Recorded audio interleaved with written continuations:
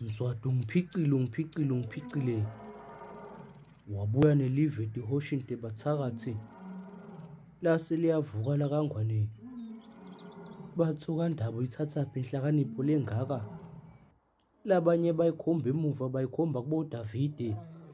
Labanye bayikhomba bayikhomba emuva bayikhomba kubo Solomoni.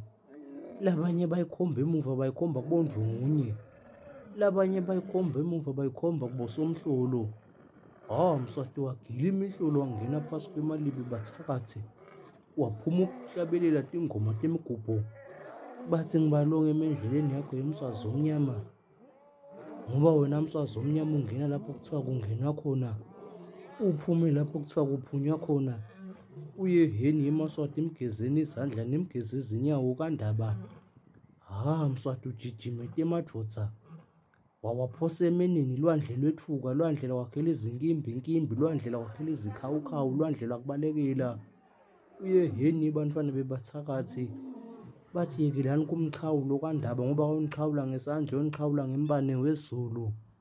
Wase mswati ugijima ngesidladla phezu kwemhlane wemadvodza kwavala ngemahlahla khabo bafukatane ngoba mswati wengce washiya emakhaya emadvodza abolile kufihlwe emehlo ngoba mswati uvuke ngumbhejazane umbhejazane longalawula umbhejazane lolawula kuphangalala kwemadvodza akube kuhle silo akube kuhle kulomanqanganqanga kasobhuza wena waphakathi bayethi wena waphakathi